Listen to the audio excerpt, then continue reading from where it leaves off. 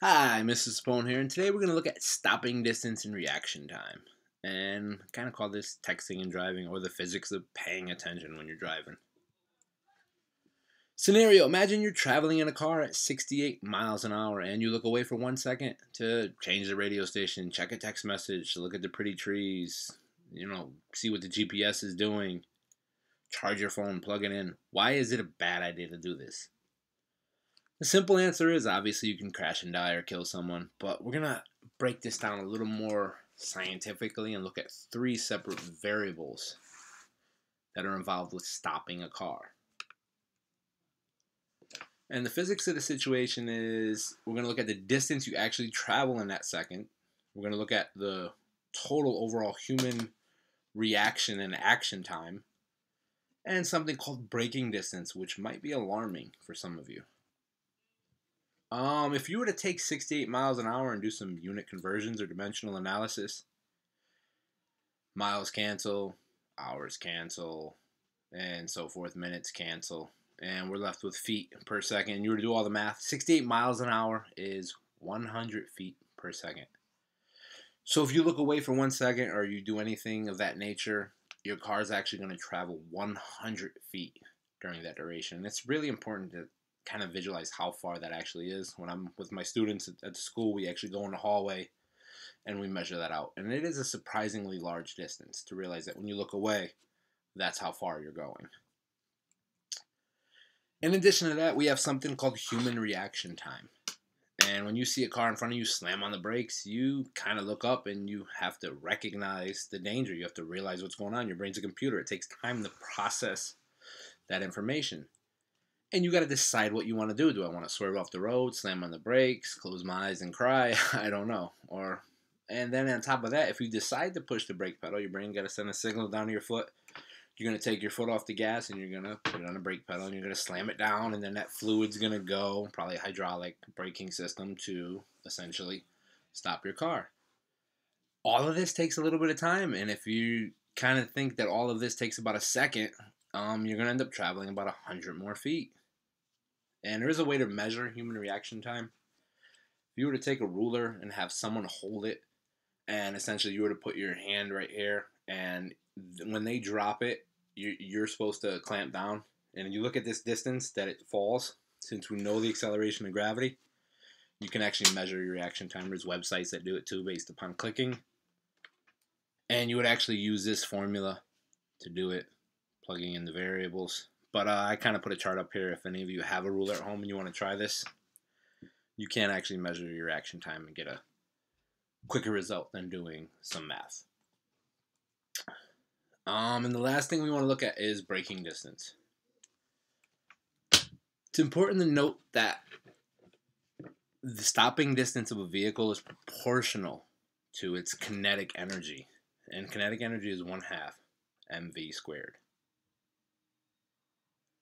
The stopping distance of any car is going to be dependent upon its velocity squared. And what that means is that's actually huge.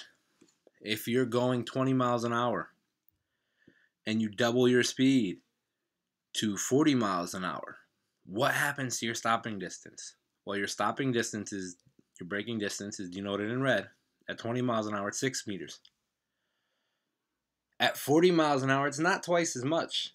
It's not 12 meters it's actually 24 meters. It's actually four times as great. It's a square. If your speed goes, if your velocity doubles, your braking distance goes up by four times as much. Likewise, if you were to triple your speed from 20 to 60, braking distance is 60, our braking distance is 6 meters. If it was just tripling, it would be 18 meters. But what does it do? It goes up to 55 meters. So you're traveling three times as fast. Your braking distance is nine times as much. Nine times six is 54. Likewise, if you were to go from 20 to 80, and 80 is not even on a scale, what's going to happen to your braking distance? You're increasing your speed four times as much. So it's going to your braking distance is going to increase by 16 times or 16 times 6 which is going to be a huge distance. So 6 times 10 is 60. It's going to equal 96 meters. So that's going to be a very, very large result. It's going up a lot. And I guess the gist is it takes nearly twice as far to stop at 70 miles an hour as it does to stop at 50. And if you kind of realize this, traveling at 35 miles an hour, your braking distance is like 45 feet. I mean, if you're traveling at 30 miles an hour and you slam on the brakes, it takes your car 45 feet before it comes to a complete stop. That's what braking distance is. Braking distances in themselves are a little nerve wracking if you're traveling 60 miles an hour.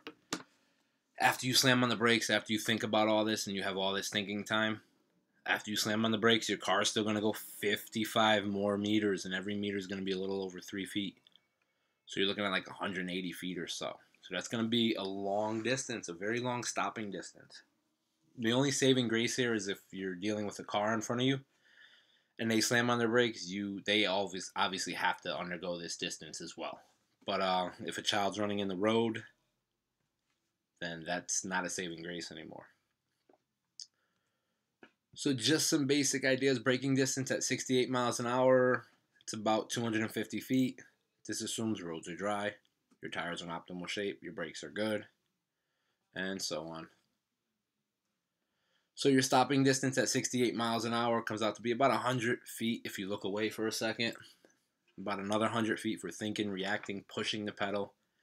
And braking distance is surprisingly about 250 feet. So you actually travel 450 feet around this area before your vehicle will actually come to a stop. And that's a huge amount of distance on a highway. Gives you a little perspective on looking away or not paying as much attention as you should or driving a little tired or possibly on something substance you should not be on. And if we were to just kind of break this down to city driving, at 35 miles an hour, if you looked away for a second to check a text or to do whatever you're doing, you will actually travel 50 feet in that second. 50 feet while thinking and reacting, and your braking distance will be about 60 feet. Take you about 160 total feet to stop. So braking distance alone is kind of nerve wracking. Like if a child runs in your road and you slam on the brakes, your car's not going to stop on a dime. The faster you're going, the more your braking distance is going to increase. And it's not linear, it's proportional to the square of your velocity. So it's important to be conscious and drive safely and to maintain speed limits in residential areas and on the highway. But Hopefully, you see there's more going on to stopping than just slamming on your brakes and stopping your vehicle. There's reaction time, there's perception time, there's action time. Your brakes actually take time to stop your car, and you can go hundreds of feet in that process, regardless of whether you're on a highway or in the city. So, hopefully, this helps you. I know some of us are going to be getting our permits soon and driving. Hopefully, you kind of use this to your benefit and drive safely. Uh, this is Mrs. Sapone. I'm out.